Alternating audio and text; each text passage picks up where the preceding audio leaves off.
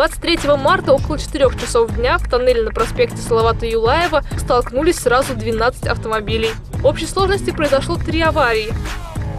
Три машины, перед ними еще две машины, перед ними еще семь авто. За крупного ДТП оказались перекрыты третья и четвертая полосы по направлению в Сипайлово.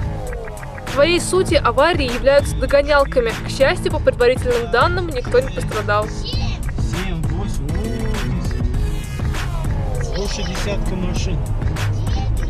22 марта около 11 часов вечера на улице Кольцевой в Уфе произошло ДТП из-за гололеда. Как стало известно freshufa.com, авария случилась неподалеку от остановки улицы Коммунаров в сторону ВАЗа. В этот же день в микрорайоне Нижегородка около 10 часов утра сгорела грузовая «Газель» недалеко от заправки. О пострадавших пока не сообщается.